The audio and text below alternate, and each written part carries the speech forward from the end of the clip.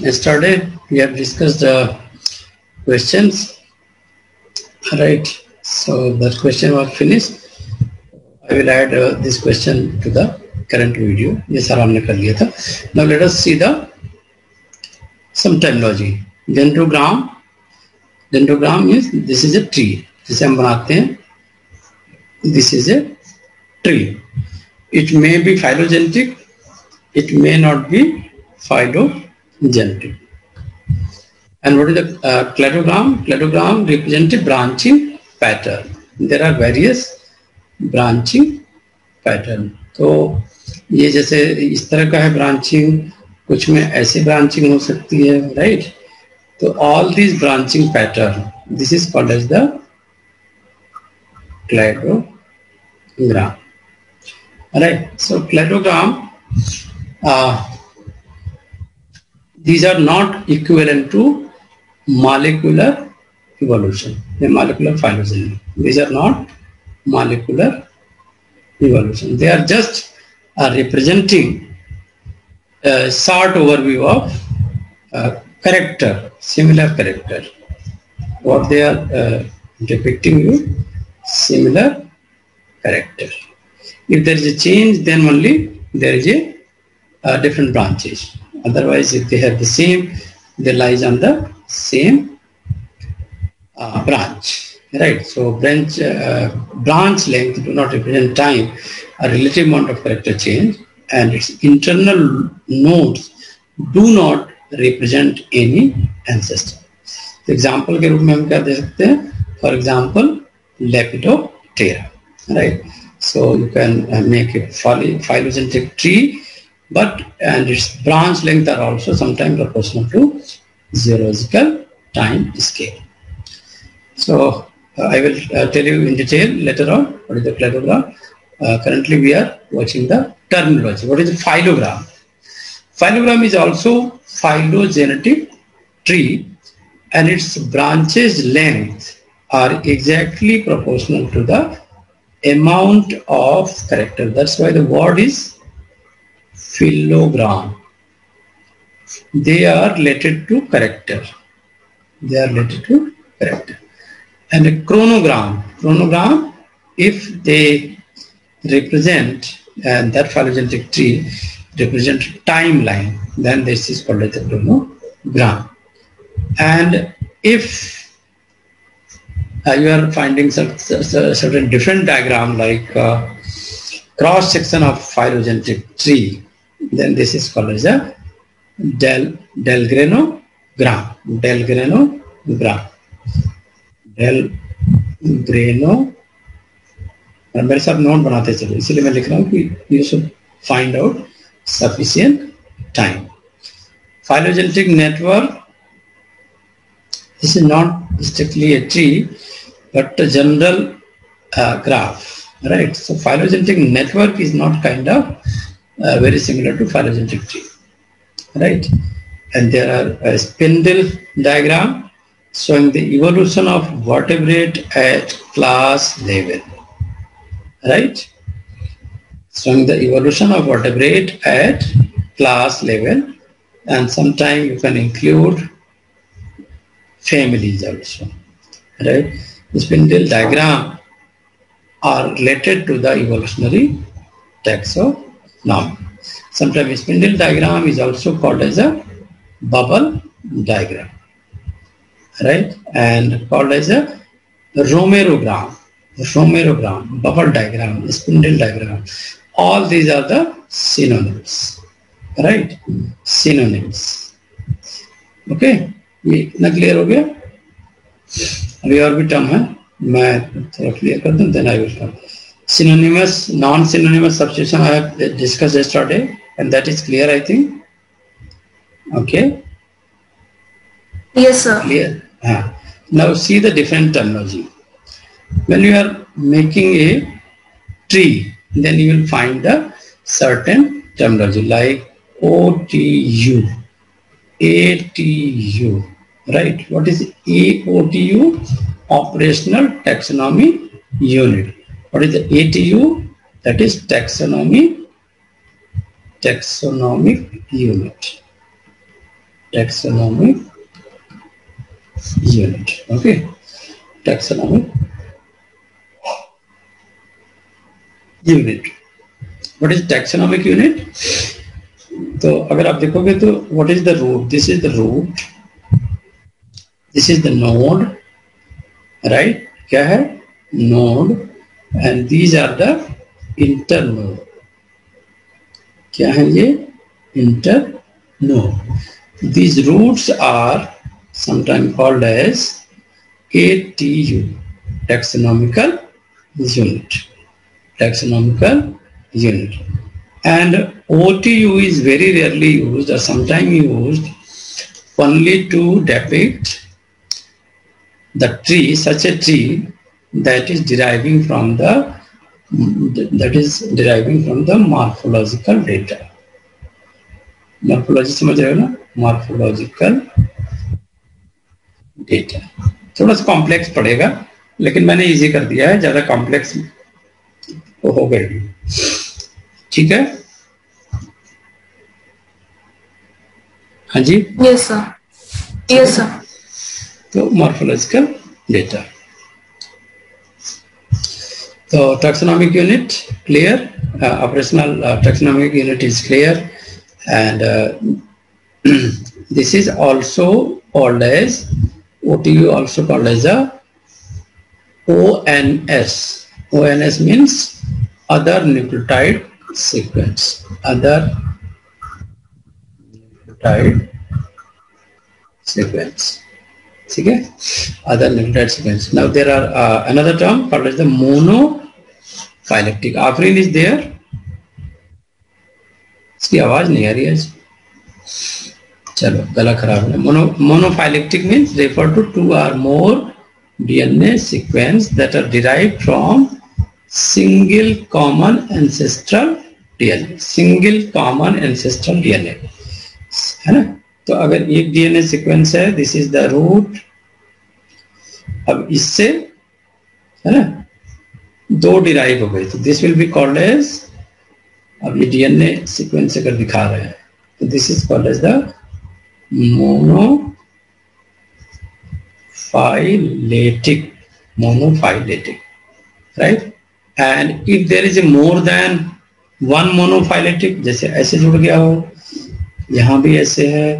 यहां भी ऐसे है तो all these groups together will be called as clade क्या बोलेंगे clade group of monophyletic a group of monophyletic sequence is called as clade is called as clade क्या हो गया clear if it comprises all the sequence है ना and use for the analysis that are descendant from ancestral sequence ancestral sequence देखो यहाँ पे है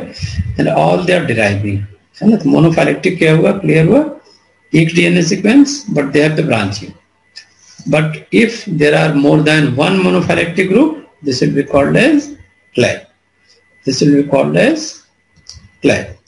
right so polypeptide refer to group of dna sequence polyphyletic sorry monophyletic और दूसरा term है polyphyletic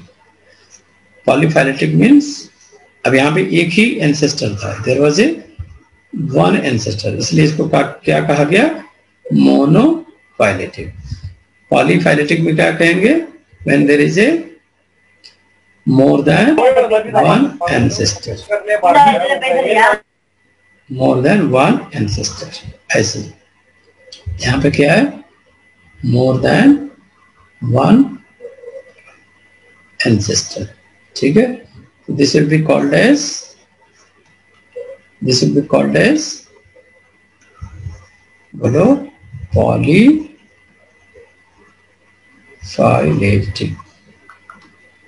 समझ में आ गया got द आइडिया सर एक बार पीछे वाला स्लाइड कर दीजिए एक बार ये पार्सिमोनी वाला एक्सप्लेन कर दीजिए मैं तो बताया नहीं मैं तो एक्सप्लेन नहीं किया तो now next is parsimony actual में this is a program parsimony right तो this is a program and that program was developed based on certain hypothesis है ना तो उसमें हाइपोथेसिस ये था कि you have to involve fewest unconnected assumptions तो parsimony is a kind of different approach मैं इसको डिलीट कर दूं जो मैंने डायग्राम बनाया ताकि इजी हो जाए आपके लिए so in the molecular phylogenetics parsimony is an very important approach why this is very important approach Because you can distinguish parsimony, देख लो, parsimony to distinguish distinguish shortest evolutionary pathway shortest evolutionary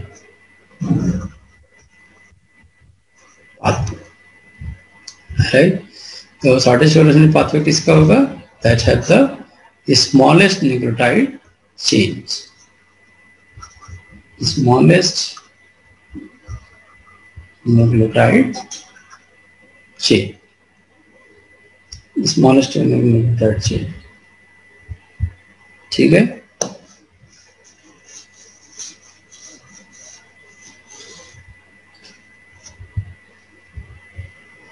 See the picture?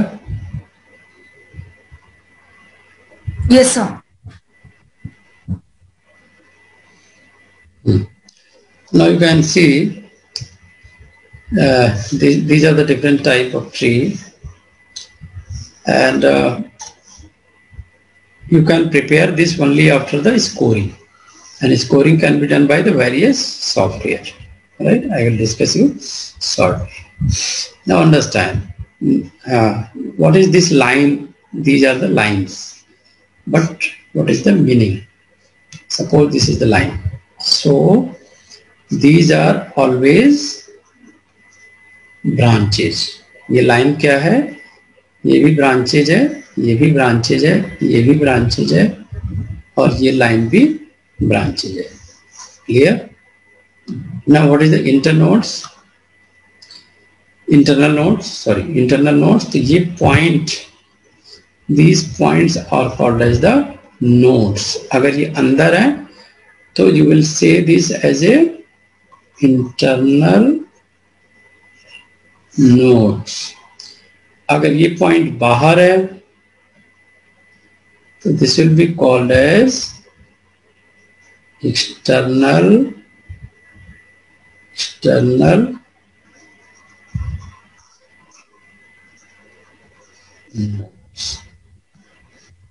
ठीक है तो this is simplest phylogenetic tree है ना that estimate relationship among taxa और sequences and there hypothetical common ancestor right अभी इसकी मीनिंग हम डिटेल बताएंगे सो दैट अगर क्वेश्चन आता है तो क्वेश्चन इसी पे आएगा कि they want to know that do you understand the meaning of this tree these internal nodes uh, can you identify the ancestor can you identify the long evolutionary term can you identify the short evolutionary term all right and uh, how these are created which software is used but uh, अगर advance level पे जाओगे तो they will talk about the program ठीक है they will talk about the program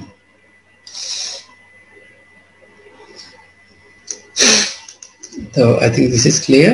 right? So today most phylogenetic tree are built from molecular data, DNA or protein sequences. Okay, and they are also depicting relationship among species. So how?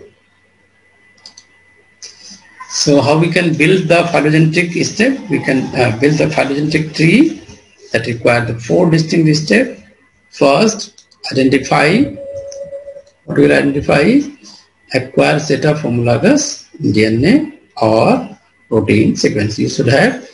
homologous set of homologous DNA or protein sequence. Second step, second step is aligning. This aligning of these sequences may be done by the software. For example, one software is BLAST. तो ये पूछा हुआ था CSR में कि BLAST P is use for BLAST P is use for protein and BLAST N use for बोलो nucleotide yes sir nucleotide हाँ अब आपको अलाइन करना है and then you will find the percent similarity sir इसके लिए सिमिलैरिटी के लिए भी हम यूज करते हैं ना नहीं नहीं ब्लास्ट से ही आ जाता है और कुछ नहीं यूज करते ब्लास्ट में आपको सीक्वेंस डालना है आपको डेटाबेस सिलेक्ट करना है कि आप हाँ। किससे मैच करना चाहते हो ये सर और जिसे मैच करना चाहते हो फिर इसके बाद ऑटोमेटिकली वो सारा आ जाता है third step estimated tree from alliance पर सर जैसे अगर हम एक्सपेरिमेंट परफॉर्म करें हम्म। कि मतलब दो सॉफ्टवेयर को हमें कंपेयर करना है तो एम्बोस मर्जर करके भी है ना एक जिससे करते हैं वो तो अलग चीज हो गई हम सिर्फ यहाँ पे बड़ी फोकस बात कर रहे हैं अबाउट द फाइरोजेनेटिक ट्री है ना परसेंट अलाइन किया परसेंट सिमिलरिटी इंडेक्स आ गए अब उसके हिसाब से now you will calculate applying the formula exact distance between the species and then you can form a tree from the aligned sequences that present that tree in such a way used to clearly convey the relevant message. I think this is clear. So various data type can be used to build phylogenetic tree. How much data you can use? You earlier this data was used morphological data. For example, number of spines in the fins of various species, fish species, size or shape of a bony projection in the femur, behavioral data also included, like pitch or duration of frog or bird calls. Molecular data is now more frequently used. तो सी sir ने पूछा था इस पे question कि how the LDH isoenzyme pattern है ना can be uh, used for the uh, making the tree है ना तो LDH isozyme में there is a variation in the km. For example, muscle km, muscle km always high. ठीक है km मतलब substrate concentration and heart km is very low. ठीक है तो Now in the different species, this affinity variation you can see also there are five isozymes. You are saying the term isoenzyme now. What do you mean by isoenzyme? Isoenzyme means this is tetramer. So this may be S 4 and this may be S3M है ना this में भी S two M two this में भी H three sorry H one H M three and next में भी M four तो how many isos M are there one two three four these are H four H three M H2, M2, HM3, and M4. हाँ clear है ना तो ये सी sir में कुछ भी पूछ सकता देखो I am not pitching on that point कि ये आएगा this is important I am not saying anything important I am what I'm conveying, understand the process, whatever they will ask, it will be easy to solve. You will solve like a master student Yeah. So now uh, let us understand more about the tree. lowest point suppose this is the tree diagram right this is the tree diagram now what is this point this point is called as root जैसे plant में होता है plant में क्या कहते हो इसको root root means common ancestor common अच्छे समझ में आ रहा है ना common ancestor to all living being जहाँ पे यहाँ पे जितना भी शो कर रहा है living being वो सबका common ancestor है हिंदी में क्या कहते हैं सबका बाप है शहनशाह का डायलॉग था हम तो रिश्ते में तुम्हारे बाप लगते हैं ठीक है ना तो this is the common ancestor tree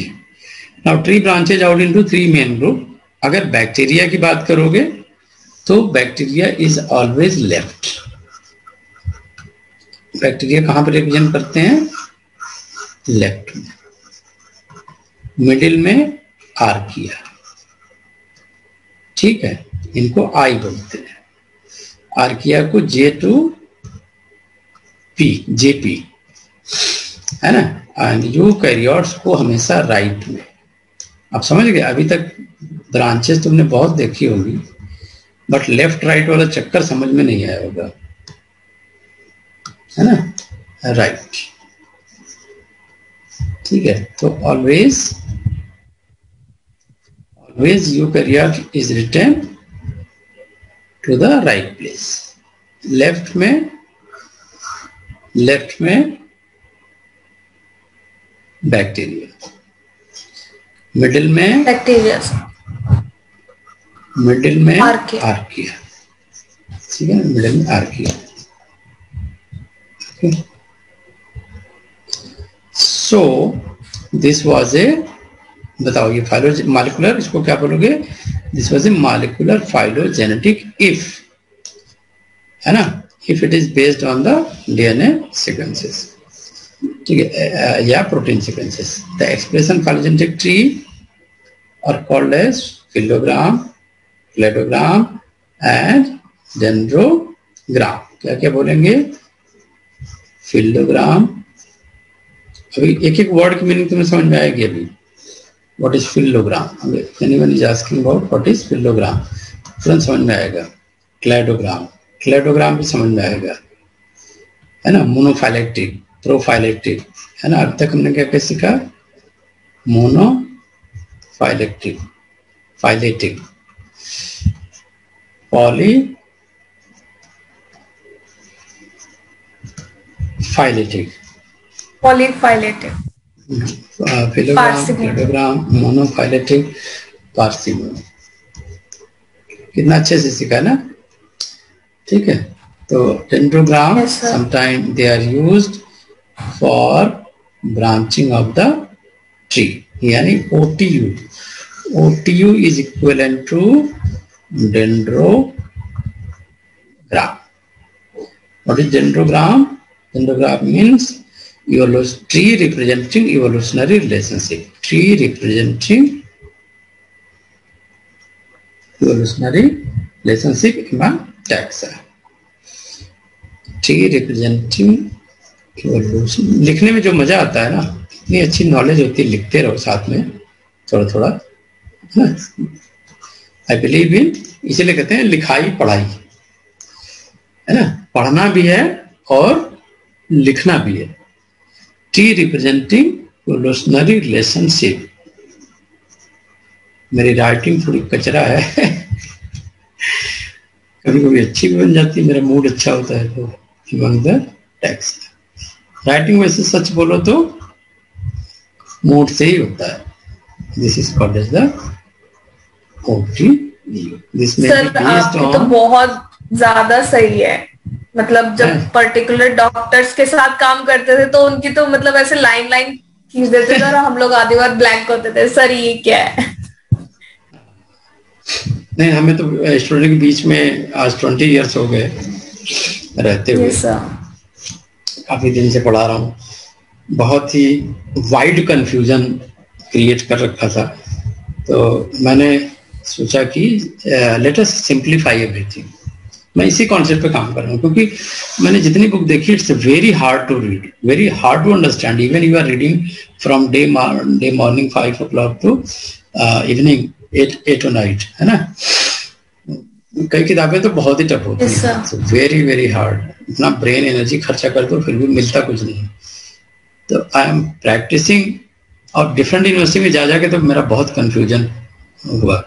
because every university forcing कि आप ये करो वो करो है ना तो कॉन्सेप्ट पे कोई बात नहीं करता था कि कॉन्सेप्ट पढ़ाओ बच्चों को ये कोई बात ही नहीं करता था जल्दी से सिलेबस खत्म कर दो जल्दी मतलब fast yes,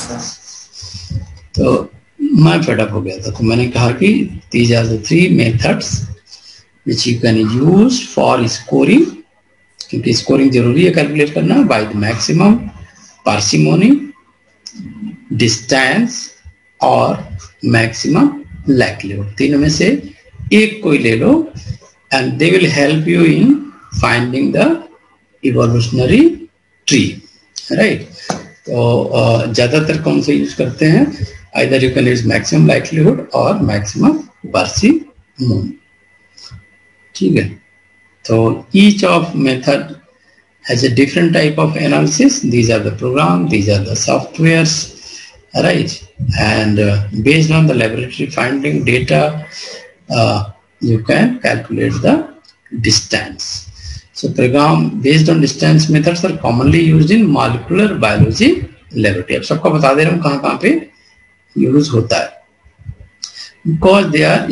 straightforward and can be use with large number of sequences maximum likelihood methods are more challenging and require a greater understanding of evolutionary model on which they are based maximum likelihood methods are more challenging and require greater understanding of evolutionary model तो इसलिए ये ज्यादा favourite नहीं है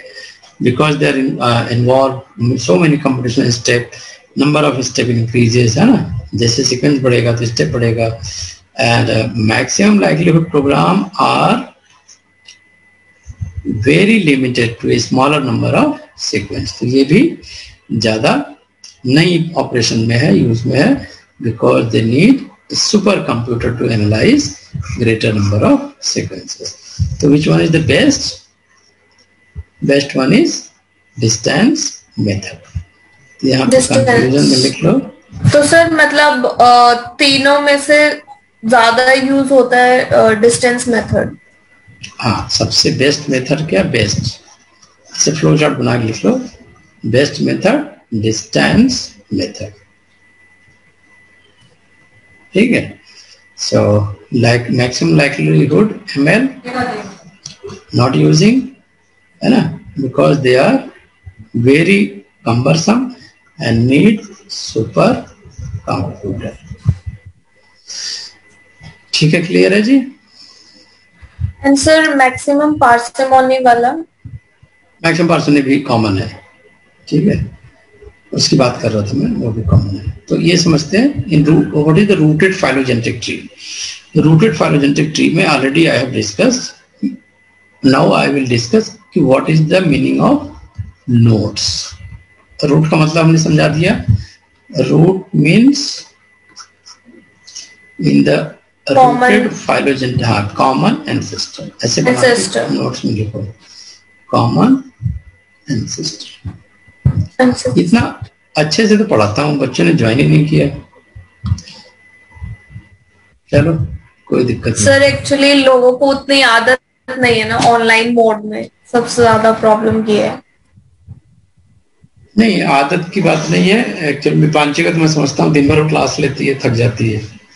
offering का join ही किया लेकिन आज बोल ही नहीं रही है एंड uh, एक रह गई राजलक्ष्मी है ना सु, uh, सुपर्णा सुमंता बीमार रहती है कभी आती है कभी नहीं आती है तो चलो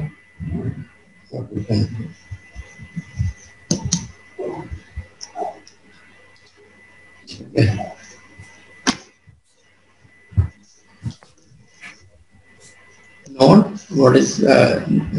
each node with descendant represent the most recent common ancestor. most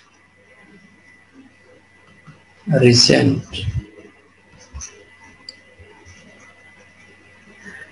common transistor and edge length may represent time node को बॉक्स में बना लो एज लेंथ बॉक्स में बना लो this represent time estimate time estimate. So that's why each node is called as TU. TU. Each node is called as taxonomical unit.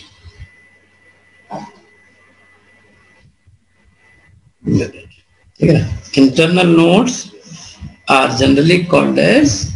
hypothetical unit. Internal node hypothetical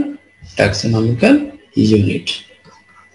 ये internal note जो होते हैं वो hypothetical होते हैं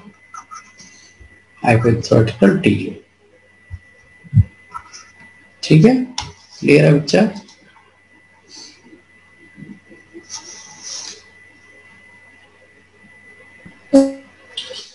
sir yes, sir hmm. ये uh, जो है डायरेक्टली ऑब्जर्व नहीं होते हैं तो मतलब इनको ऑब्जर्व हाँ। करने के लिए कुछ स्पेशल सॉफ्टवेयर uh, या मतलब नहीं नहीं जैसे मान लो अब तुमने वन थाउजेंड स्पीसीज लिया and you are comparing globin gene ठीक है yes, अब ग्लोबिन जीन को आपने किया तो कुछ में तो आपको yes, डायरेक्ट मिल जाएगा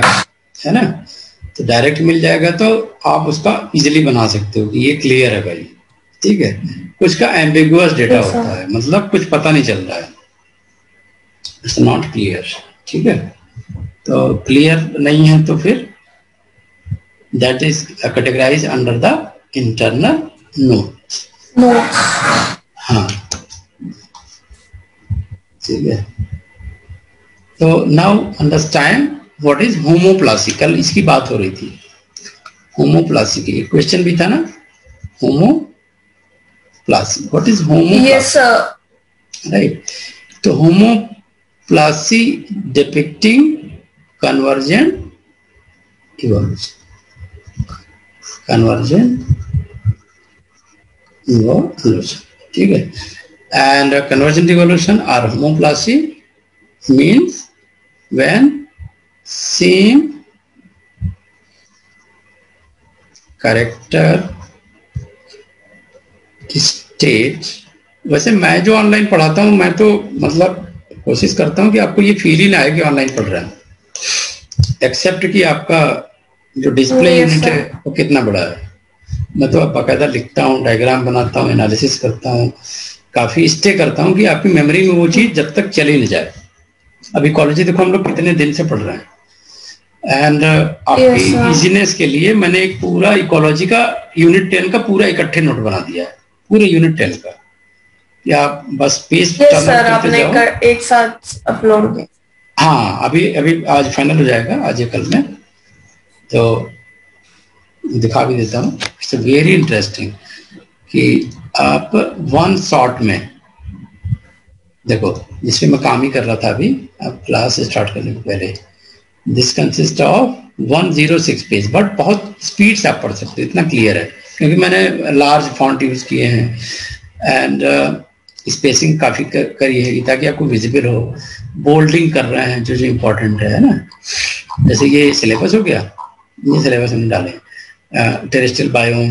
है ना आइसलैंड uh, अभी जा डालना है आइसलैंड वगैरह बायोजियोग्राफिकल जोन डाल दिया है कम्युनिटी स्ट्रक्चर एट्रीब्यूट डाल दिया level of species diversity measurement edges and ecotones ये डाल दिया primary production decomposition structure function of सब इंडियन इकोसिस्टम ये सारा डाल दिया बायोजियोग्राफी पूरा डालते हैं है ना तो आप देखो ये एक सेकेंड में मैं कैसे आपको पूरा क्लियर कर दे रहा हूँ बायोडाइवर्सिटी है ना स्पीसीज रिचनेस ऑलरेडी पढ़ चुके हो इवेननेस पढ़ चुके हो यहाँ पे एग्जाम्पल दे दिए alpha diversity beta diversity gamma diversity है ना फिर जेनेटिक डाइवर्सिटी ठीक है ना अब फटाफट आपने स्पीसीज डाइवर्सिटी ये कर दिया stable community ecological diversity endemism keystone stone species है ना इकट्ठे मिल गए आपको स्लाइड बार बार नहीं पलटना है कोई भी बात समझ रहे हो what I am saying yes sir flagship species कुछ भी पूछे बॉर्डर स्टेफ इंडिया है ना बायोम ऑफ इंडिया सब एक जगह नोट बना दे बायोजियोग्राफिकल जोन कितने हैं ठीक है देखो wild life diversity of India अब सर आज सिलेबस से मैच करोगे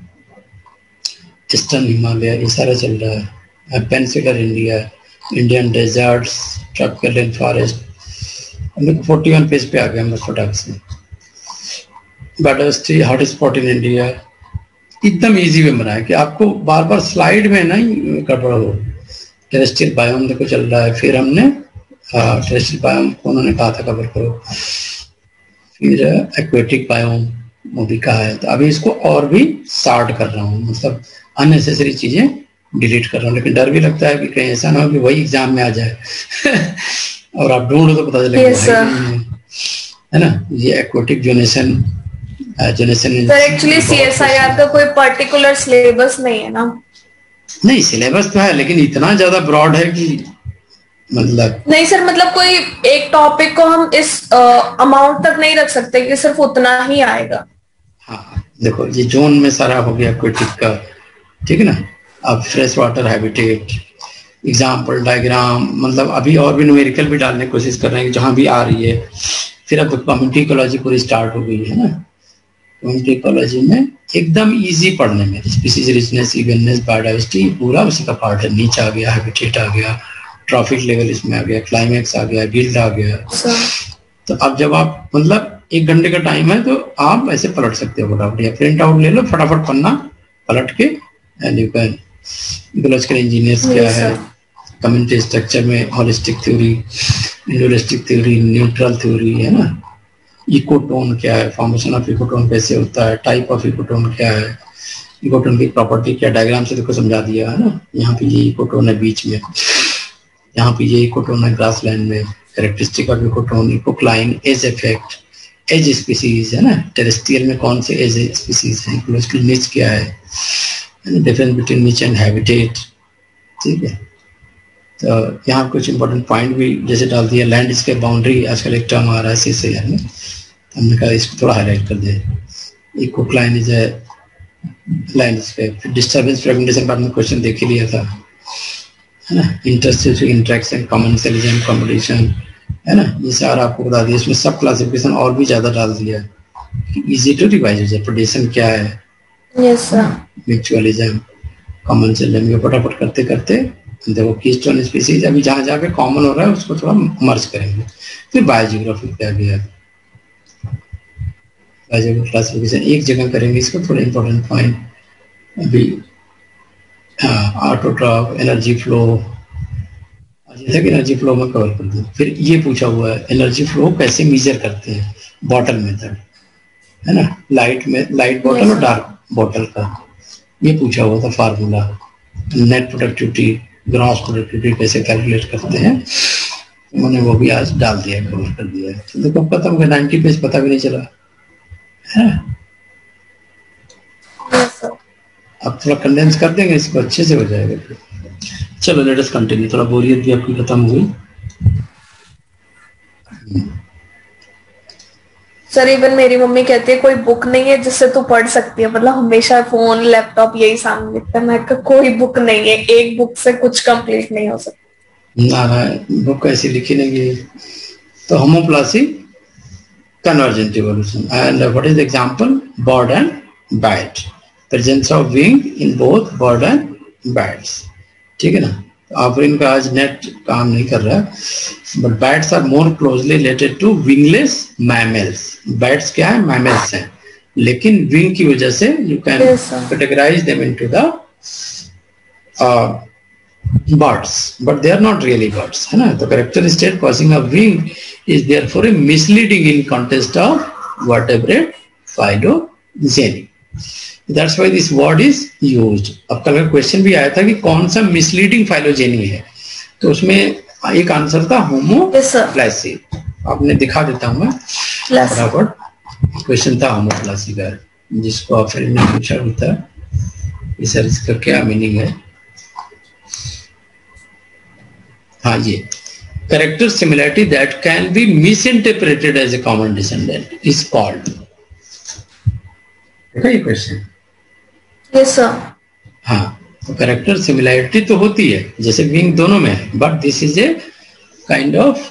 misinterpretation of a common descendant they are really not a homoplasy category आते हैं तो इसलिए भाई देखो हम जो स्टडी कर रहे हैं आप वही चीज महीने भर में पढ़ोगे हमने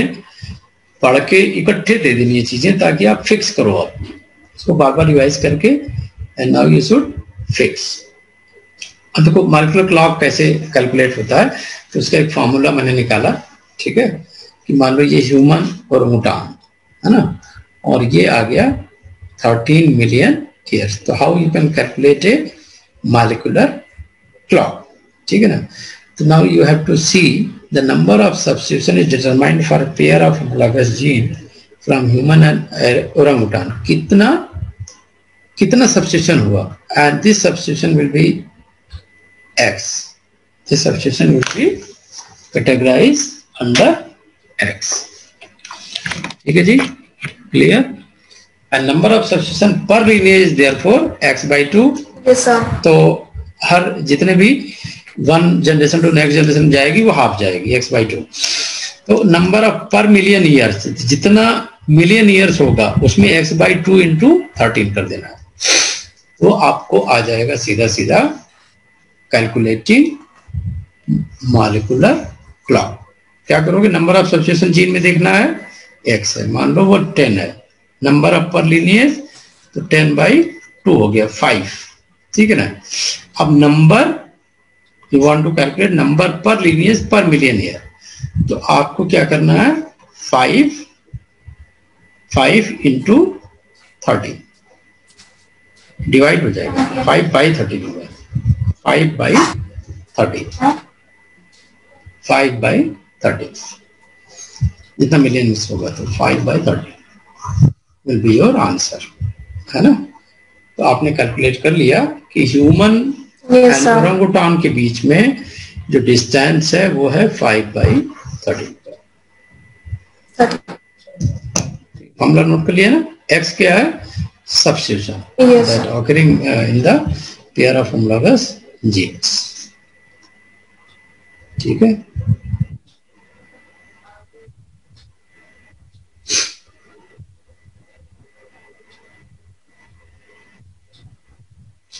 देखा कितना पढ़ दिया पता भी नहीं चला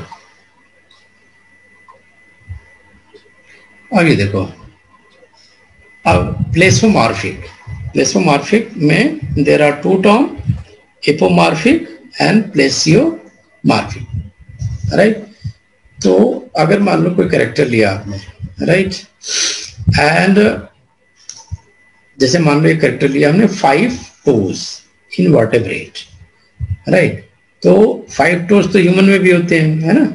और फाइव टोज लिजाड़ वगैरह में भी हो सकते हैं ठीक है ना तो that is confusion that is creating confusion तो that is categorize under the plesiomorphic क्योंकि क्लियर डिस्टिंक्शन नहीं हो रहा है राइट तो कह रहे हैं कि an ancestor character state is one possessed by remote common ancestor of a group of organism an example being five toes in vertebrate five toes ले लो ओरंगटान में है कि चिंपैंजी में है सारे में है तो वो एक करेक्टर ले लिया that can be categorize under the plesiomorphic wing of bird and bat wing ले लिया ये कंफ्यूजन तो है बट ये मार्फिक कहलाएगा a morphic means character state is one that evolved from the ancestor state in more recent common ancestor and so is seen in only a subset of species in the group being studied. है ना evolved from ancestor instead in more recent common ancestor and so is seen only subset of species in मतलब ये recent वाला show करेगा जो भी आप ancestor का relation शो कर रहे हो recent way में that is characterized under the APO तो अब अगर आप सिंगल टो की बात करते हो सपोज तो सिंगल टो में कहाँ कहाँ हो सकते हैं single toe displayed by modern horses is a derive character state right तो ह्यूमन में अगर आप देखो तो फाइव टोज का करेक्टरिस्टिक लिजार्ट से मिलता है है ना और uh, तो इस तरीके से बड़ा मिसलीडिंग है plesiomorphic now you can see wing no wing wing ठीक है आपने ऐसे ट्री बना दिया एक ट्री आपने टोज के आधार पे बना दिया कि भाई इनके पास फाइव टोस था तो लिजार्ड हो गए फाइव टोज ह्यूमन के पास भी था और एक टो हॉर्स के पास भी है this is a kind of misleading now which technique is going to give the more phylogenetic information obviously the answer is DNA. Why? Because you can deduce synonymous versus non-synonymous substitution, right? Synonymous. Synonymous Yes, and sir. non-synonymous substitution. कल इसको discuss किया था, right? Okay, so if amino acid Yes, sir. sequence differ at only one position, if amino acid sequence differ at only one position, then you can see this is a dot dot dot dot single है ना single nucleotide uh, पे single amino acid sequence पे differ करते हैं right synonymous हमने uh, कहा ही था कल है ना there is no significant change in the amino acid अगर अमीनो एसिड सीक्वेंस चेंज हुआ तो देखें एक सीक्वेंस uh, के चेंज होने से क्या अमीनो एसिड सीक्वेंस चेंज हुआ alanine remains alanine isoleucine remain isoleucine लेकिन यहां पे देखो यहाँ पे जब चेंज हुआ leucine become phenylalanine leucine become phenylalanine aspartate become aspartate arginine become arginine ठीक है जी तो ये यहाँ पे तो सर ये इसी में क्यों हुआ नहीं वो तो डेफिनेशन में डाल रहे हो ना कि कौन सा सिनोनिमस हुआ कौन सा नॉन सिनोनिमस हुआ तो synonymous मतलब no change in amino acid despite of change in one position of there is change in one position of nucleotide live class से देखो दो चीजें होती है एक तो यूट्यूब वाले जो करते हैं लाइव यूट्यूब पे आ रहे हैं वो तो पांच दस मिनट पंद्रह मिनट उनको बस पढ़ाना उड़ाना होता नहीं ड्रामे करके चले गए ठीक है ना एक होता है कि हम बिल्कुल कुछ भी नहीं सोच रहे अभी हम सिर्फ आपके बारे में सोच रहे हैं वेरी फोकस्ड अब वो किसी को पसंद आएगा किसी को नहीं पसंद आएगा क्योंकि उसमें बहुत सारे ड्रामे हमने नहीं डाले हैं म्यूजिक नहीं डाली है बहुत सारे एनिमेशन नहीं डाले हमने टू द पॉइंट बात करी है तो this is change in one position of tide this is called as the तो no change no change in amino acid despite of despite of one position change of nucleotide ठीक है और वही अगर चेंज होता है change occurs if change occurs then it's categorized under non sense तो इसको फिर दोनों का रेशियो निकालते हैं एन एस अपॉन एस अगर ये रेशियो लेस देन वन है लेस देन वन है तब क्या है ये न्यूट्रल नेगेटिव न्यूट्रल इवोल्यूशन ठीक है ग्रेटर देन वन है तो पॉजिटिव ठीक है तो यहां पे क्या है सिनोनिमस जीरो वन ये ऑलमोस्ट लेस देन वन ही हो गया ठीक है So that is neutral sir hmm.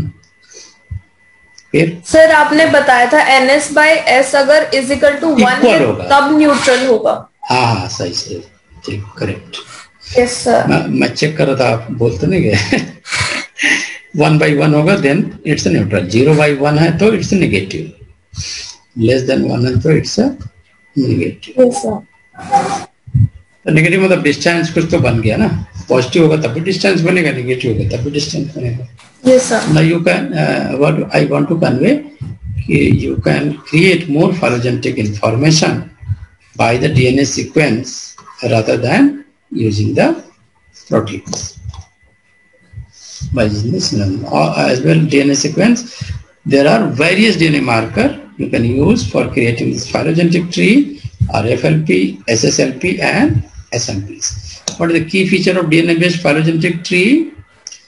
Uh, this tree have a very good comparative data, right? Very good comparative data. अब मान लो देखो ये हमने ट्री बनाया है डीएनए से relationship between A B C D does not tell us anything about the series of evolutionary event that leads to genes अब यहाँ पे कुछ भी पता नहीं चल रहा क्योंकि यहाँ पे ढंग से प्रेजेंटेशन नहीं हुई है तो इसको कहते हैं unrooted tree this is called as the unrooted tree एक करेक्ट जो फाइलोजेनेटिक ट्री होगा that will be the rooted tree that will have the branches that will have the root that have the internal nodes that will have the external nodes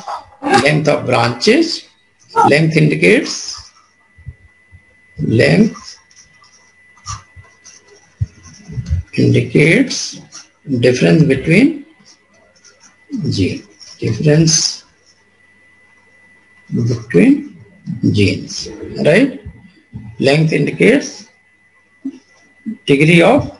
difference between genes ठीक है degree of difference between genes and this is converted into the nodes and degree of difference is calculated when the sequence are compared degree of difference मतलब sequence compare ठीक है तो ये देखोगे सारे external node है ए बी सी डी तो ये पूछ सकता है सी सर में question A B C D what they are depicting all they are depicting the presence of external nodes ठीक है इंटरनल नोट्स अगर हैं तो कितने हैं दो इंटरनल नोट्स कितने हैं दो तो एक्सटर्नल नोट्स क्या प्रेजेंट कर रहा है comparing four genes internal node क्या प्रेजेंट कर रहा है अबाउट एंसेस्ट्रल जीन नोट कर लो सर एक्सटर्नल नोट जीन को डिपिक्ट कर रहे हैं हाँ internal node depicting ancestral genes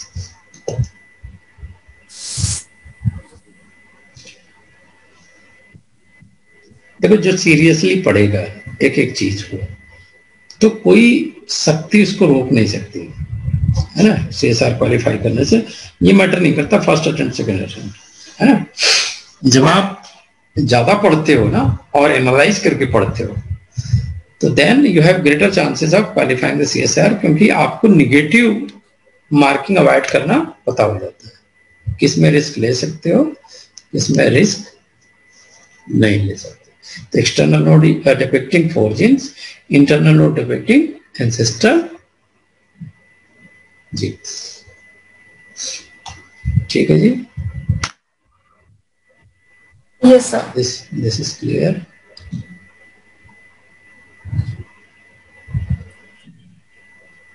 so five different version pathway are possible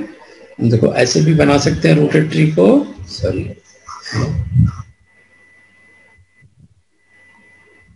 घबरा ही लेता क्या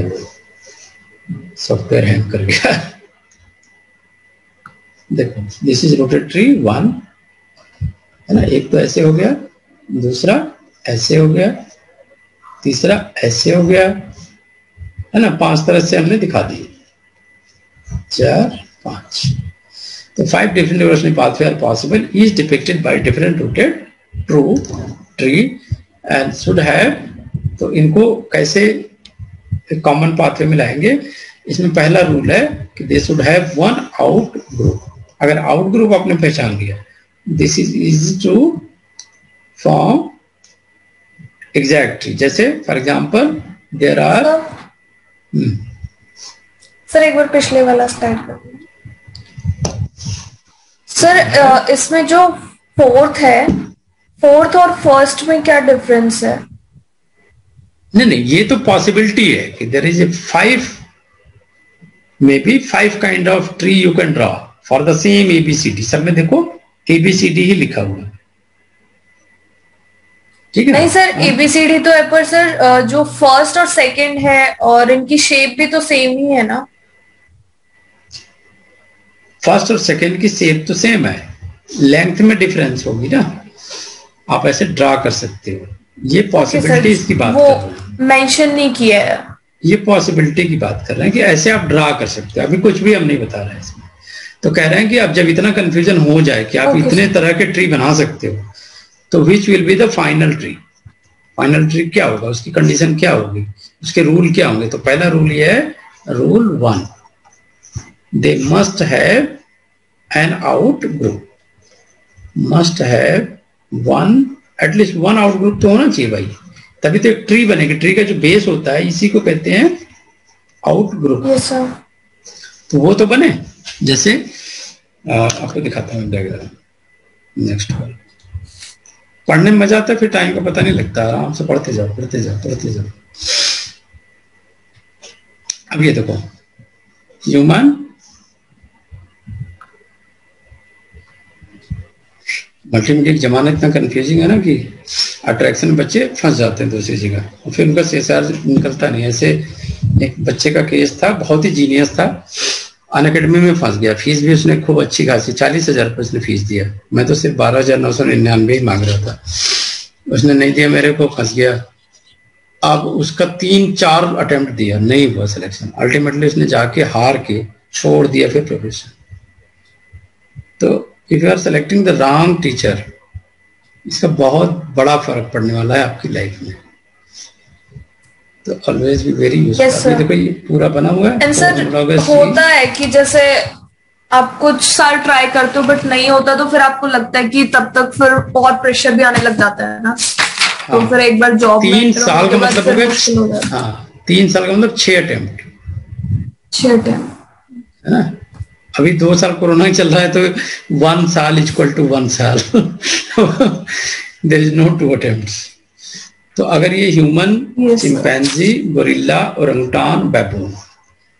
अब अगर आप इनका होमोलोगस जीन लेके एक ट्री बनाओ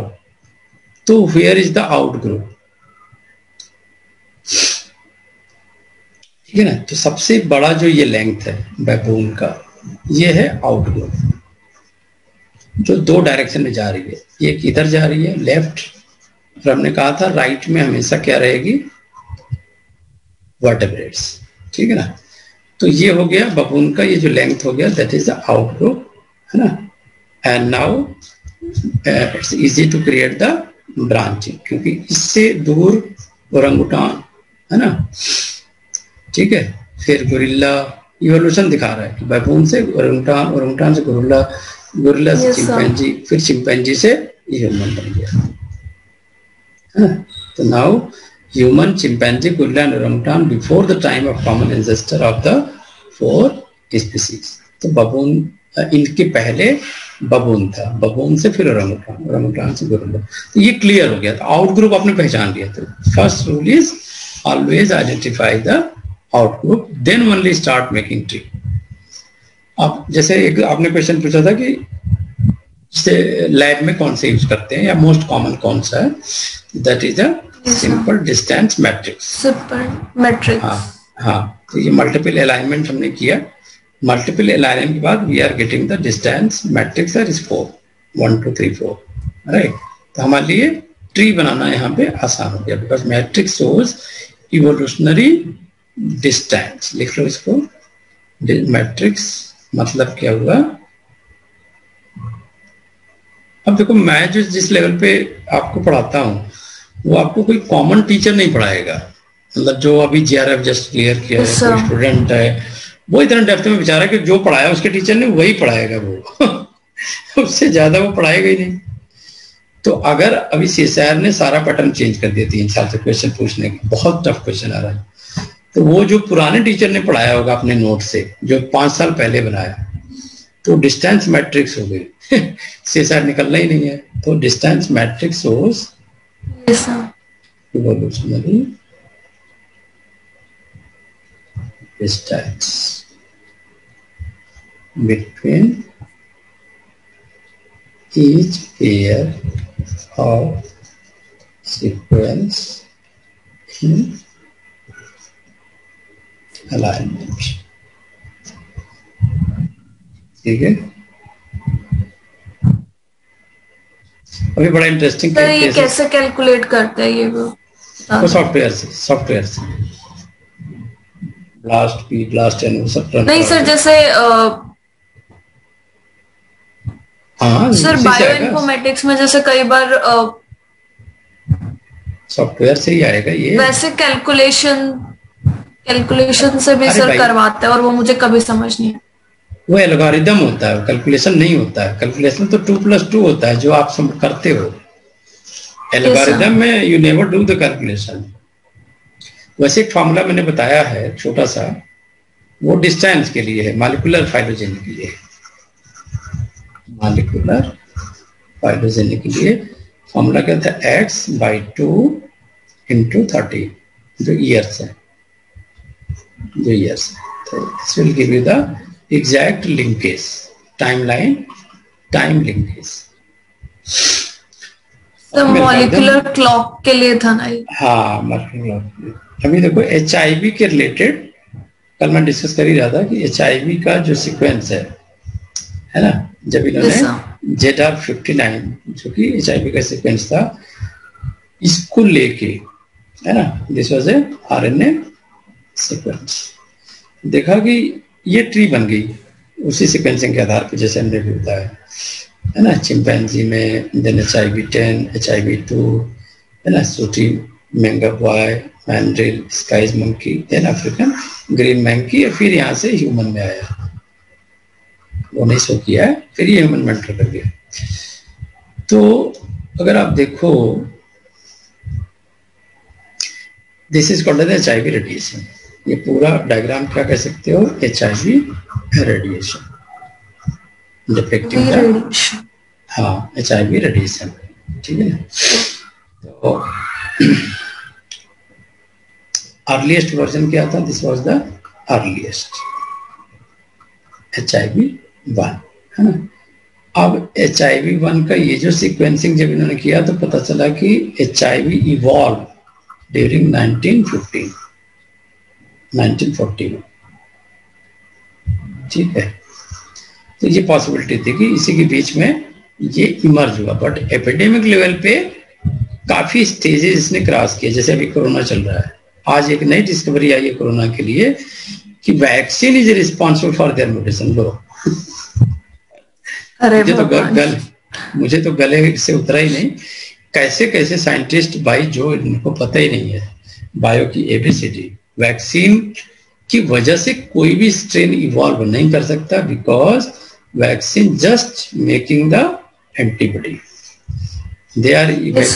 they are releasing cytokines बस इतने ही काम है जिसकी वजह से इनकी जो मल्टीप्लीकेशन रेट है वो डाउन हो जाएगी बस एक से एंटीबॉडीज तो बनेगी तो हाँ एक से तो बच के रहे इनकी बातें सुन लो जहर बोलते हैं सीधा ऐसा कॉन्सेप्ट बैठा दें अगर मान लो से में यही क्वेश्चन आ गया सारे बच्चे बेचारों का लस क्योंकि न्यूज से पढ़ाई नहीं हो सकती ऑथेंटिक डेटा तो साइंटिस्ट को ना देखो टाइम आएगा एक दिन सारे साइंटिस्ट इंडिया में फिर एम पी एमएलए ही बनेगी बिना उसके काम ही नहीं होना कोई चीज मैनेज ही नहीं होनी you can see this is a gene tree this is a species tree what is the difference अब ये देखो यहाँ पे जो नोट्स हैं वो क्या दिखा रहे हैं म्यूटेशन इवेंट्स देख पा रहे हो यस सर ये जीन ट्री है gene tree each node is showing mutation tree और स्पीसीज ट्री में ईच नोड इज शोइंग अभी देखो बात करना आसान हो गया ट्री में नोड इंटरनोड की बात तो कर सकते हैं राइट right? रूट की बात कर सकते हैं लेफ्ट की बात कर सकते हैं कि क्या है सेंटर में क्या है रूट में क्या है तो कितना अच्छे से क्लियर हो गया आपको this is the difference between gene tree and species tree but they are really not same and you can identify it at the internal node right तो डाइवर्जेंस तो का रीजन आपको यहां पता चलेगा कि this was the mutation which causes the divergence between gene T, gene C, gene D and A. But यहाँ भी speciation आप बात कर रहे हो ठीक है स्पेसिएशन का अलग मीनिंग हो गया स्पेशन मतलब unable to interpret geographical geographically isolated allopatric है ना स्पेसिएशन रिलेटेड टू इधर सिंपैट्रिक और कल मुझे बड़ा खराब लगा मेरा क्लास ही नहीं चल पाया अचानक से कंप्यूटर शट डाउन हुआ फिर मैंने देखा कि वो तो बार बार yes, बंद होने लगा हमने कहा माय गॉड फिर मैंने सर लास्ट में मैं ही थी फिर सबने लीव कर दिया था हम्म। कोई बात नहीं ऐसा अनएक्सपेक्टेड हो ही जाता है अब ये देखो अब टाइमलाइन अगर मान लो हाँ कंप्यूटर को थोड़ा बचा के रखना क्योंकि इतना पावरफुल कंप्यूटर नहीं है ना बजट कम होता है टीचर की इनकम बहुत ज्यादा होती नहीं प्राइवेट वाले देते ही कितना है ठीक है ना तो बाकी चीजें yes, होती हैं सारा सिस्टम इतना महंगा है ऑनलाइन अगर रियल में मैनेज करो ना तो budget is very high for managing the online class मैं देख रहा था बारह से पंद्रह लाख का पूरा सेट है अगर वो सेटअप करने जाए तो दैट वी कैनोट मैनेज अब दो सौ तीन सौ बच्चे होते तो चलो सोचते भी चलो एक दिन आएगा वो भी अच्छा। जब हम बड़े चटर में बात करेंगे तो सर जरूर आएगा हाँ बिल्कुल आप लोग सेलेक्ट हो गए तो उसी से रिजल्ट आएगा आई एम नॉट होपलेस ये म्यूटेशन हुआ फिर दो ब्रांच बनी और ये स्पेसिएशन हुआ right now this is depicting the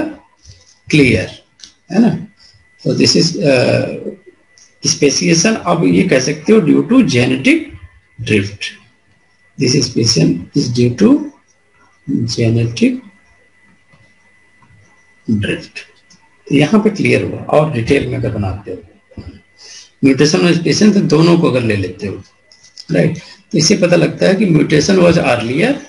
speciation was later on mutation earlier time पे हुआ राइट और जेनेटिक ड्रिफ्ट में क्या हुआ बिकॉज एलिल इज लॉस्ट तो इसलिए ब्रांचिंग आ गई Allen lost this is now you can see the two separate genetic linkage two genetic linkage तो कुछ भी क्वेश्चन पूछ सकते हैं कि बताओ इस ब्रांच में कितनी जेनेटिक लिंकेज है अब क्या बोलोगे दो कहां कहां पे एक और दो ठीक है कहाँ पे स्पेसिएशन हुई है एट द नोड ठीक है internode effect mutation internodefect mutation. Why this mutation created speciation? Because due to genetic drift, allele were lost. So many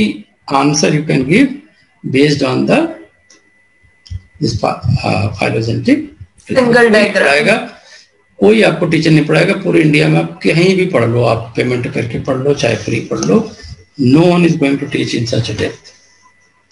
है ना कि आपको आप दिखेगा ट्री देखोगे और आपको सब कुछ दिखेगा म्यूटेशन भी दिखेगा स्पेसिएशन भी दिखेगा नोड भी दिखेगा जेनेटिक लिंकेज भी दिखेगा this is called as the phylogenetic analysis तो न्यूट्रल सिलेक्शन uh, की बात हम पहले कर चुके हैं है ना न्यूट्रल सिलेक्शन में क्या होता है कि the allele become fix because of natural selection और रैंडम ड्रिफ्ट है ना तो एक एलिल डोमिनेट कर जाती है that is more favourable beneficial that allele become fix तो according to mathematical model it was observe that different allele become fix in a population resulting in a series of gene substitution तो इसलिए tree बन गई अब कभी कभी ऐसा होता है कि species split into two population है ना फिर वो इंटरप्रेट भी नहीं कर पाते वो डिफरेंट स्पीसीज राइट तो these two population become different तो इस वजह से भी थोड़ा सा डिफरेंस आ जाता है है ना तो sometime there is bottle neck effect तो all this differences based on the gene substitution because of uh, because और एलोपैट्रिक or है ना आप उनको देख सकते हो कि what are the differences in allele frequency ठीक है तो अगर किसी भी तरह का डिफरेंस आया है because of sympatry allopatry all these are reflecting something that is gene substitution ठीक है तो now they are causing difference in allele frequency from one species to second species. So why they are differing? They different difference in allele frequency. And now these allele frequency can give you the exact data of can give you idea about date and time when this population when this population is split when a split occurs right तो ये आपका बन गया phylogenetic tree and about gene सबसे इतना accurate है है ना they can give you the idea of sympatry allopatry है ना इंटरप्रीट हाँ, नहीं कर पाए लेट फ्रिक्वेंसी आई किस तरह की फ्रिक्वेंसी आई ज़्यादा आई कम आई है ना तो आप कम से कम दस जनरेशन तक का आइडिया लगा सकते हो उनके क्या पॉपुलेशन का कितना जेनेटिक डिस्टेंस रहा अगर रिप्रोडक्टली वो इंटरप्रीट कर रहे हैं तो डिस्टेंस कम होगा और नहीं कर रहे हैं तो डिस्टेंस ज़्यादा होगा तो एक स्पीसीज दूसरी स्पीसीज से दूर होती जाएगी यानी डिफरेंस बढ़ता जाएगा and that difference you can calculate for the date and time or insert you can prepare the phylogenetic tree ठीक है ट्री हाँ तो ये ट्री कंस्ट्रक्शन का और डिटेल आ गया already you might be knowing speciation this is mutation mutation one mutation two है ना अब ये ट्री को आप ऐसे दिखा दो A B C है ना अब थोड़ा ऐसे भी दिखा सकते हो ये जीन ट्री हो गई और ये हो गई स्पीसीज ट्री स्पीसीज ट्री में सारे कलर एक जैसे हैं लेकिन जीन ट्री में आपने देखा कुछ ब्लू है कुछ ग्रीन है कुछ रेड है अलग that is call the gene tree aligning the DNA sequence obtaining the completed data and then you can reconstruct the tree ठीक है and this is called as the molecular clock molecular clock now helping how helping this tree construction because branching branching एक जैसे भी हो सकती है different length की भी हो सकती है तो ब्रांचिंग की जो लेंथ होती है that decided by molecular clock decided by mitotoglycide branch length of a phylogenetic tree clear yes sir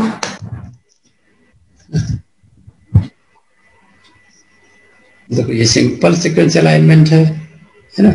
तो कुछ भी आपको समझ नहीं आएगा लेकिन more difficult sequence alignment then you can see where this is this is a gap Right? Yes, sir. So sometime there is a ambiguous report because of because of error in multiple alignment. तो अब क्या होगा phylogenetic analysis भी correct नहीं होगी correct नहीं होगी तो problem that is what is the indel placement indel test ठीक है ना दैट गिव राइज टू ये पूछ सकता है indel placement during multiple alignment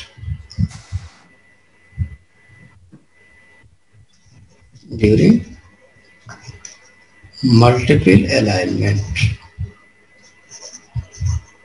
ये कैसा होगा ट्री तो tree will be in correct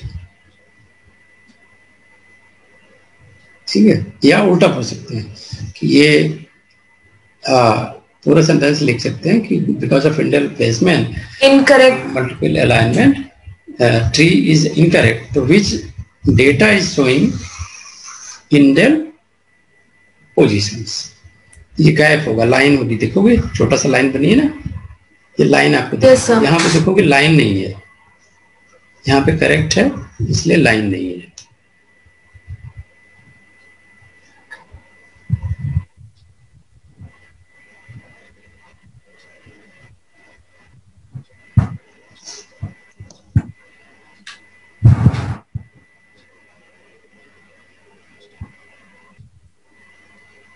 लिख लिया आगे चले yes, तो सेकंड अब तो कुछ रह लेंगे अब तो सारा समझ गए हो ठीक है कॉपी पढ़ लेना ये देखो ऐसे आ गया तो कुछ और टेक्नोलॉजी है जैसे ये हो गया एंसेस्टर रूट हो गया ये है ना root root means ancestor linkage ये रूट से एक लेफ्ट जा रही है एक right this is called as the branch point तो ब्रांच पॉइंट का मतलब हो गया this is the common ancestor of both इसका भी इसका भी ठीक है फिर ये इसके लिए रूट हो गया फिर यहाँ पे ब्रांच पॉइंट ठीक है फिर इसके लिए रूट फिर इसके लिए ब्रांच पॉइंट अब ये ब्रांच का फिर ब्रांच आ गया तो दोनों ब्रांच को क्या कहेंगे सिस्टर टैक्सा ये भी क्या हो गया सिस्टर ऐसा एक तो गया बाप है ना बाप के दो बच्चे ठीक है ऐसे याद कर सकते हैं हिंदी में ये हो गए बाप बाप के दो बच्चे दो बच्चे के फिर ये बाप बन गए दो बच्चे तो ये हो गए सब आपस में भाई बहन सिस्टर ठीक है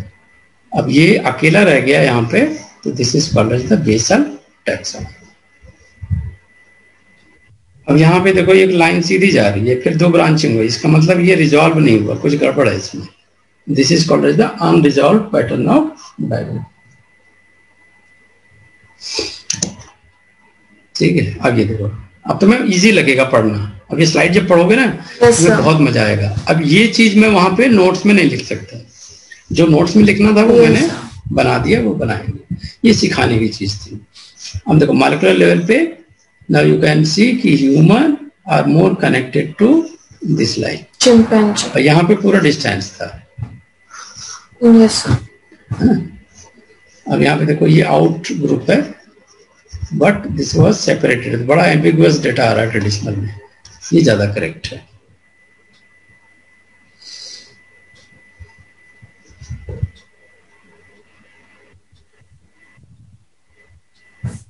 जीन ट्री इसमें से स्ट्रॉन्ग मायोग्लोबिन का है ना मायोग्लोबिन में मतलब पहले तो कोशिश करते ही थे कि भाई चलो इस तरह का बनाया जाए स्पेसिस ट्री लेकिन मायोग्लोबिन के बेस पे पहले जीन ट्री तैयार करना फिर उनका स्पेसिस ट्री तैयार करना that will be more accurate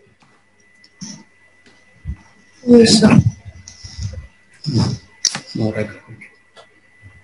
तो इसमें देखो तीन ट्री हो गए तीन बातें होगी लेग हेमोग्लोबिन के लिए इंसेक्ट सोयाबीन ठीक फिर मायोग्लोबिन में देखो रूट रूट ये रहा फिर सार्क आ गया चिकन आ गया वेल ह्यूमन काउ ठीक है तो ये ह्यूमन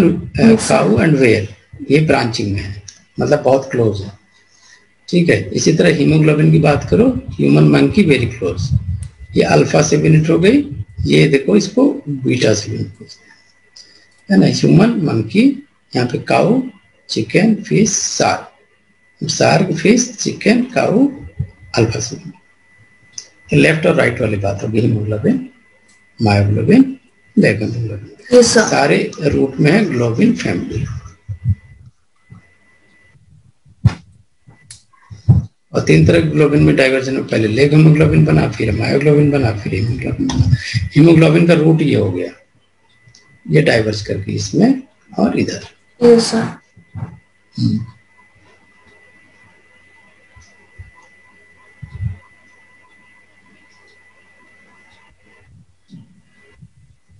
अब जैसे कैलकुलेशन भी सिखा देता हूं मान लो ये जीन है ठीक है तो अब इसमें देखो कि कितने न्यूक्लियोटाइड हैं one two three four five six six nucleotide हैं ठीक है और एक दो तीन चार चार में नो चेंज है no change in four type ठीक है अब सब्सिट्यूशन जब किया पोजीशन फोर पे ठीक है एंड इंसर्शन डिलीशन किया पोजीशन टू पे तो आपको देखो कि दो सीक्वेंस में थोड़ा डिफरेंस आ रहा है ठीक है दो सीक्वेंस में डिफरेंस आ रहा है अब इसी तरह से आप कैलकुलेशन कर सकते हो to calculate the common ancestor तो ये जीन से ही एनालाइज कर लोगे कि क्या सिचुएशन है छह न्यूक्लियोटाइड थे दो में सब्सिशन हुआ चार में नहीं हुआ है ना तो फिर कोई बात बनेगी अब यहाँ पे जैसे दो टेक्स लिया आई और जे इसको अलाइन किया तो number of align position twenty three आ गया इस तरह से सिक्वेंस अलाइनमेंट करते हैं मैचिंग न्यूक्लियोटाइड करते हैं है ना मैचिंग न्यूक्लियोटाइड से पता चलेगा कि कॉमन एंसेस्टर कौन था सब्सिट्यूशन इंसर्शन डिलीशन अगर आइडेंटिफाई कर लिया या गैप आपको मिल गया तो that indicates occurrence of indels gap gap मतलब indels indels because of insertion because of this. Insertion and deletion. Optical alignment many alignment are possible between sequence and algorithm वही बातें मैं कर रहा था typically maximize the matching number of minus eight and resulted in working the smallest possible number of integers. Integer comes a common substitution. When DNA sequence diverge, they begin to collect mutation. Number of substitution found in alignment is widely used in molecular evolution analysis. जैसे आप ये देखो, number of aligned position is 23, number of different position 8 है. है ना आठ question different होता है अब इनका रेशियो निकाल के then you can go for the calculation number of substitution कितना हुआ अब जूक्स एंड कंट्रोल मॉडल क्या कहता है and they assume that each nucleotide is equally likely to change into any other nucleotide and created a mathematical model to describe multiple base substitution. तो ये आप formula है जो आप पूछ रहे थे कौन सा फार्मूला है यही है के is the distance between sequences, so minus 3 by 4 ln 1 minus 4 3 p ठीक है तो चूंकि निकलटाइड थ्री होते हैं है ना और बेसिस फोर होते हैं इसलिए one minus four by three P की है ठीक है इसका लॉग लेना होता है के डिस्टेंस आपको पता चल जाएगा माइनस थ्री तो P क्या है P is the observe number of substance बस खाली एक टर्म आपको इंट्रोड्यूस करना है P है ना कि observe number substance over total number of sites जैसे वहां पे आठ सब्सटेंशन हुई थी बाई ट्वेंटी थ्री तो ये पी कितना हो गया एट बाई ट्वेंटी थ्री ठीक ये देखो एट बाई ट्वेंटी थ्री निकाल लिया पी पॉइंट थ्री आ गया तो सिर्फ यहाँ पे क्या किया फार्मूला सेम है लेकिन हमने सिर्फ पॉइंट थ्री इंसर्ट किया इसमें यहाँ पे बाकी सारी चीजें सेम है तो minus three by four log point three four eight अब इसी को सॉल्व कर लो जो वैल्यू आएगी वो आपका करेक्ट मल्टीपल सब्सटीट्यूशन होगा ठीक है तो you can distance you can calculate the distance between sequences के के आपका किसी का पॉइंट फोर आएगा के किसी का पॉइंट सिक्स आ गया के किसी का आ जाएगा वन ले लो बना लो ट्री हो गया इजी ना जी yes, तो सर ये आज तक समझ ही नहीं आया था कि ये करते कैसे आप समझ में आ गया ना अच्छे से प्रोफेसर से पढ़ने का फिर अलग ही मजा होता है हमने भी पढ़ी है प्रोफेसर से हम तो शुरू से प्रोफेसर से पढ़े मतलब एमएससी में हमारे सारे प्रोफेसर थे टॉप क्लास के थे वर्ल्ड क्लास के भाई वर्ल्ड क्लास के थे जिनको इतना था कि जीन ट्वेल्व पूरी याद थी पूरी एनालिसिस उनको आती थी तो मैं ड्रीम करता था कि मैं ऐसे ही टीचर बनूंगा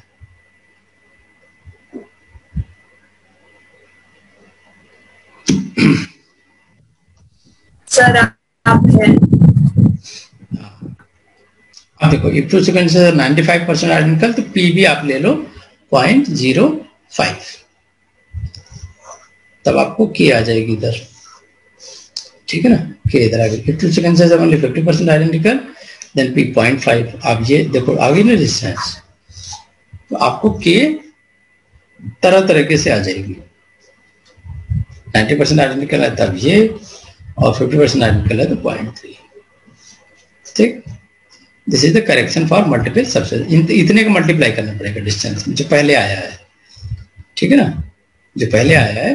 उतने का करेक्शन ये ऐड कर देना मल्टीप्लाई तो rate of nuclear substance substance accumulate independently अभी मैं वीडियो भी देख रहा था एक बंदे ने फार्मूला तो ये डिस्कस किया बट मुझे खुद कुछ भी नहीं समझ आया कि उसने क्या कहा और ये कहां से आया के बाई टू टी कहां से आया अब आप के भी समझ गए के कैसे आया है ना और what is the T T is the divergence time अब आप सब्सटीट्यूशन रेट निकाल सकते हो which is R substitution rate R equal to K by K आपने कैलकुलेट कर लिया पहले से ठीक है ना और एक जैसे थर्टीन मिलियन ईयर्स मान लो पहले आपको पता चला तो के मान लो आ गया point six two into thirteen तो रेट ऑफ सब्सिट्यूशन भी आप कैलकुलेट करें अब ये सब्सिट्यूशन क्यों ले रहा है because this accumulate independently and simultaneously in different sequences ये भी कैलकुलेट कर लो रेट भी आपको पता लग जाएगा ठीक है अब यहाँ पे देखो दिया हुआ मान लो ऐसा क्वेश्चन भी सी में आ सकता है फिफ्टी न्यूक्लियोटाइड्स हैं first fifty nucleotides of human and shared a common ancestor eighty million years ago. ठीक है तो ह्यूमन रिसीव में now you can calculate P छः तो सब्सिट्यूटेड हुए टोटल पचास था तो पॉइंट ट्वेल्व आ गया ठीक है पॉइंट ट्वेल्व का मल्टीप्लाई किया फार्मूला में तो आपको के मिल गया पॉइंट वन थ्री एट ठीक है और एस्टिमेटेड नंबर ऑफ सब्सटीट्यूशन तो फिफ्टी निकल टाइट थे तो fifty into point one three eight कर दिया तो सिक्स पॉइंट फाइव सिक्स आ गया अब जो ये आया ठीक है ना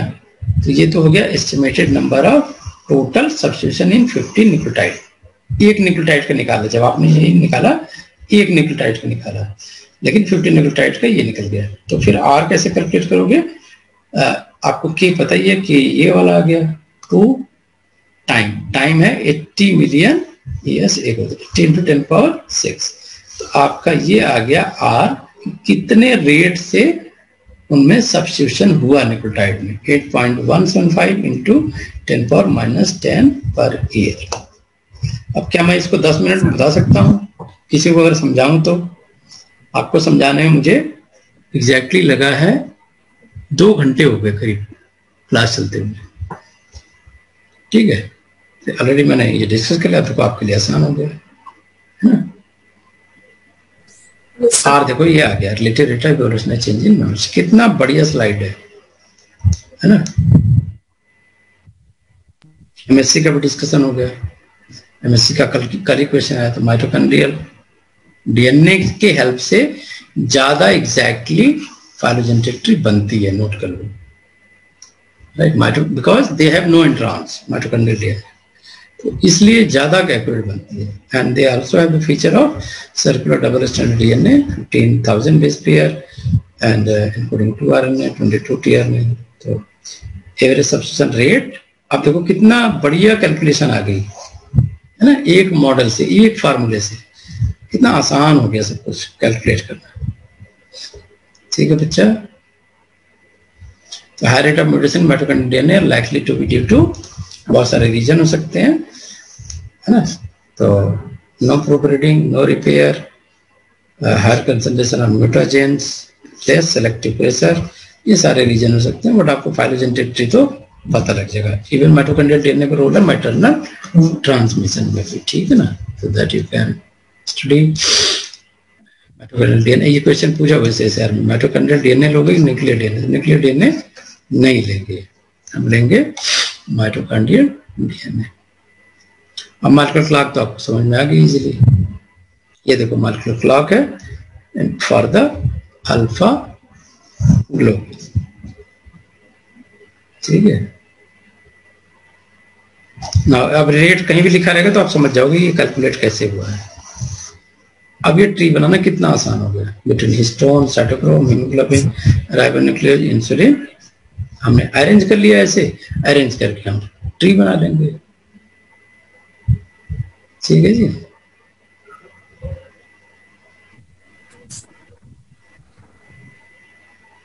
तो ये बाकी चीजें पड़ी हुई जेनेटिक ड्रिफ्ट वगैरह तो आज का लेक्चर यही खत्म करते हैं